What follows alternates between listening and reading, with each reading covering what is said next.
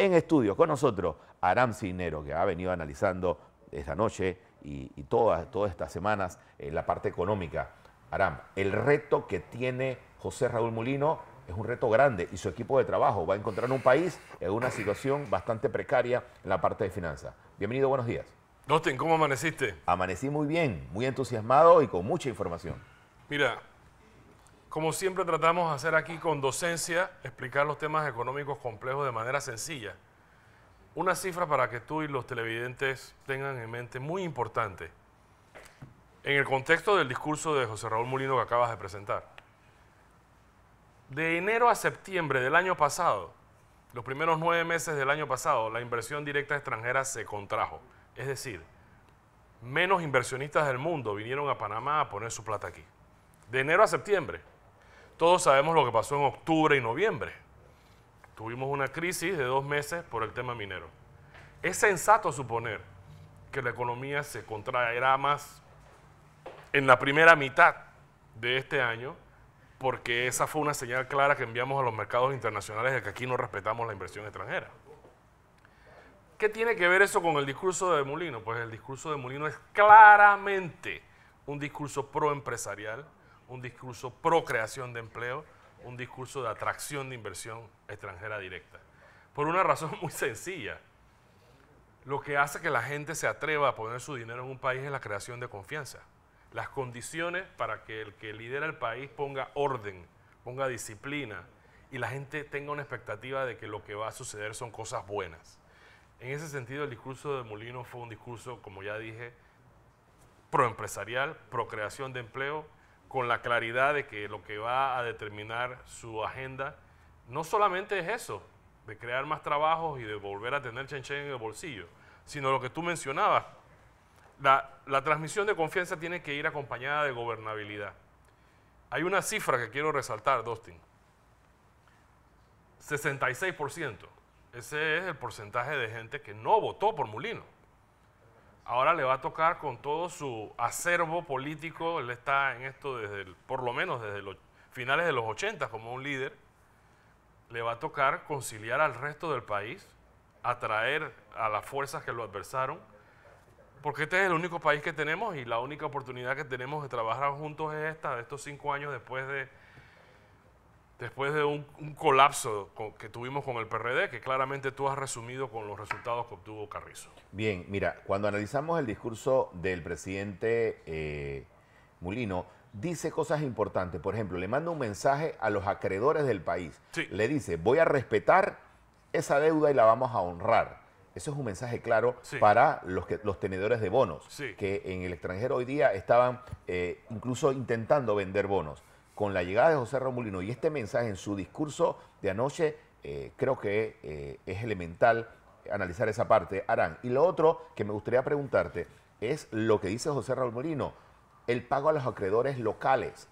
el gobierno actual y el gobierno anterior le adeuda millones de dólares a proveedores y a gente que licitó y que hoy día construyó obras y no ha recibido pago de esas obras. Y eso también es eh, parte del estancamiento de la economía. Aram.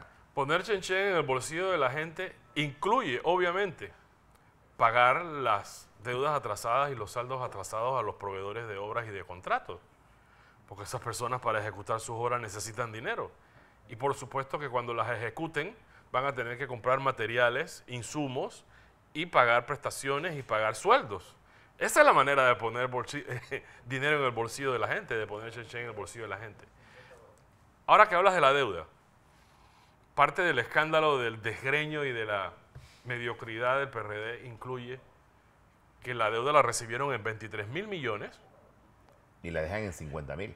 Y hicieron todo lo posible por ahí, aruñando, llegar a 50 mil. Creo que estaban en 49 y pico a lo mejor nos sorprenden en, estos últimos dos meses y, logran su meta de duplicar la deuda en cinco años. Es un escándalo. Es un escándalo porque eso y la pérdida del grado de inversión que Martinelli logró en marzo del 2010, si recuerdo bien, esto nos hace pagar intereses más altos por eso que mencionaste tú, que son los bonos. Dicho de manera coloquial, los bonos es deuda que el país adquiere. Es deuda que tienen tenedores afuera y que están esperando eso que vieron anoche. un compromiso del gobierno, nuevo gobierno, de decir yo te voy a cumplir la deuda.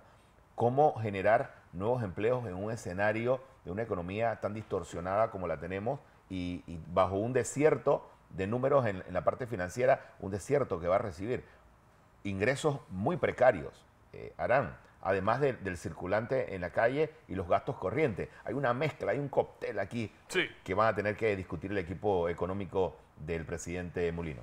José Raúl Molino tiene dos meses para armar sus equipos. Por supuesto que la designación del ministro de Economía y Finanzas va a ser fundamental. Eh, y creo que lo dijiste hace un rato, no va a ser nadie improvisado. Va a ser alguien que ya tenga el temple y la experiencia para que no llegue a aprender, para que llegue a resolver rápido, porque no hay ningún, no hay ni un minuto que perder. Sí, mucha gente no entendía en, la elección y en nuestro análisis cuando decíamos, es que usted necesita ver al momento de elegir a un presidente las ejecutorias y la capacidad de resolver problemas.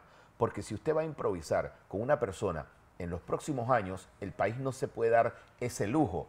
Creo que José Raúl Molino es el presidente con el perfil y el carácter para asumir responsabilidades y asumir compromisos y de una forma paralela mantener ese cordón de unidad que también requiere en las entidades y las organizaciones que así lo, ameritan. El, papel importante de la calificación y el riesgo del país. ¿Hasta dónde José Raúl Molino tiene que trabajar en recuperar el grado de inversión, Arán? Bueno, mira, hay tres como en la escuela, que nos ponían un boletín y sacábamos una nota que hacía un pronóstico de nuestro desempeño.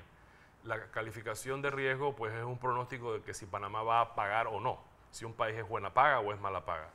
En este momento nos tienen como mala paga, ya lo dijo Fitch Ratings, y hay toda una incertidumbre acerca, acerca de si las otras dos, que son Moody's y Standard Poor's, van a hacer lo mismo.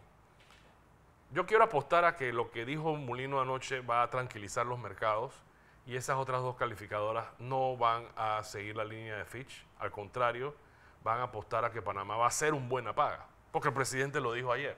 O sea, están las comunicaciones formales de, estos, de estas calificadoras, de estos mercados internacionales, de estos bancos de inversión del mundo, y están las comunicaciones, eh, de hecho, políticas cálidas como la de anoche, donde el presidente electo le está diciendo al mundo, yo voy a honrar, como dijiste hace un momento, yo voy a honrar esta deuda, la voy a cumplir, a pesar del escándalo de que Héctor Alexander la duplicó en menos de cinco años de 23 a 50 mil millones de dólares.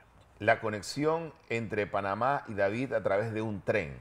Esa es una mega obra y es la obra insignia que eh, se ofreció como propuesta desde eh, que era Ricardo Martinelli candidato presidencial y luego cuando asume José Raúl Molino sigue manteniendo esta propuesta de mega obra. ¿Qué impacto tienen las mega obras en la economía, Arán? Bueno, hay varios.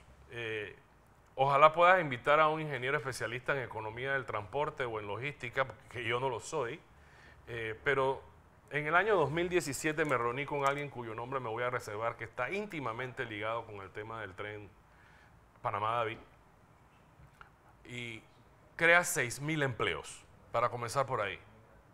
6.000 personas estarían empleadas en la construcción y unas 2.000 estarían trabajando en la operación del tren. Obviamente, y esas cifras no las tengo, la construcción del tren va a generar una compra de insumos y de materiales y va a poner a trabajar y a comer y a vivir a un montón de proveedores de la obra. Y ya hilando un poco más fino, por supuesto, usted hace una carretera por un lugar donde no había una carretera y comienza a haber desarrollo a ambos lados de la carretera. La conectividad de un país es indispensable. Vamos a hacer un tren que va a conectar de una manera innovadora y poderosa al país y eso va a crear desarrollo a ambos lados del tren. Así que eh, eso y la extensión de las líneas del metro, Dostin, creo que van a ser las principales obras eh, de infraestructura que el presidente Molino va a hacer. Y cierro con esta. El canal de Panamá cada vez está en mayores dificultades para aportarle al Tesoro Nacional lo que aporta porque tenemos una crisis hídrica. Ahorita, digamos que se mitigó un poco porque está lloviendo y va a llover, pero en diciembre, finales de diciembre y el próximo verano nuevamente va a haber restricciones en la cantidad de buques que pasan. Eso significa que facturamos menos, el, el país le factura menos a estos buques que pasan menos cargados y pasan menos barcos y aporta menos al, al Tesoro Nacional. La otra obra de infraestructura importante que hay que comenzar, porque el presidente Cortizo se sentó encima de ella e ignoró el consejo de Jorge Luis Quijano y Catín Vázquez, es el embalse de Río Indio.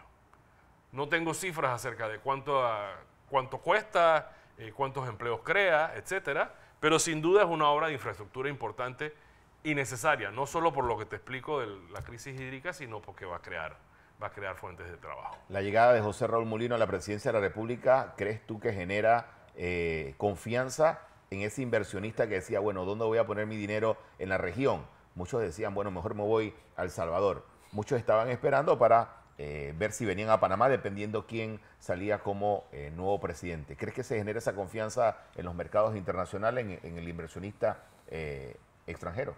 Totalmente. Yo, si fuera mi, si fuera mi decisión, yo tomaría extractos importantes de ese discurso y los distribuiría entre los principales mercados e inversionistas del mundo para que tengan claro la calidad de presidente que vamos a tener por los próximos cinco años.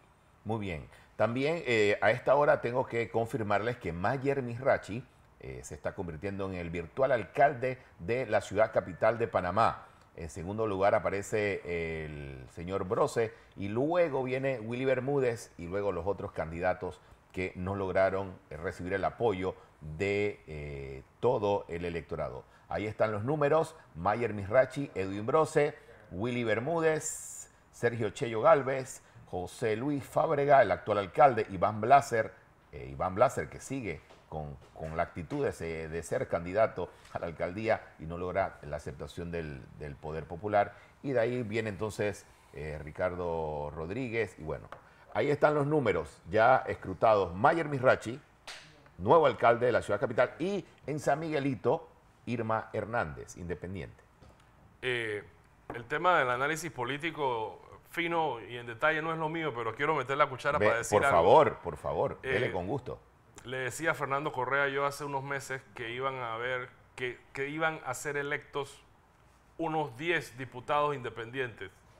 Obviamente me equivoqué. No, usted se equivocó. es el doble. Van 21 hasta ahora. Eh, la elección de Mayer Mirachi y 21 diputados independientes reafirma que hay un hito una frontera, un parteaguas, un momento, un, momento crucial que divide antes y después, después de siete elecciones que hemos hecho en lo que llamamos la, la, era democrática después del fin de la dictadura, esta elección potencia a los independientes, le dio espacio a un joven disruptivo e innovador en la alcaldía y enterró a los partidos tradicionales. Totalmente. Mire, y coincido con usted. Eh, la votación, cuando usted analiza el número en general, el panameño al momento de votar fue selectivo. No fue un voto eh, impulsivo y que se fue por un partido político. No, fue selectivo. Escogió en los diputados qué diputados quería. El panameño está más preparado, tiene más información. Y por eso yo sustento, en el caso del presidente de la República, la mayoría del pueblo panameño habló a través de su voto Usted, si usted no le iba a José Raúl Molino y tenía otro candidato, respete la decisión de la mayoría, como le hubiese tocado respetarla a los que seguían a José Raúl Molino si hubiese perdido. Pero para eso son las elecciones. En un país democrático, todos aspiramos a que se ejerza el derecho a voto y que se respete la decisión de la mayoría.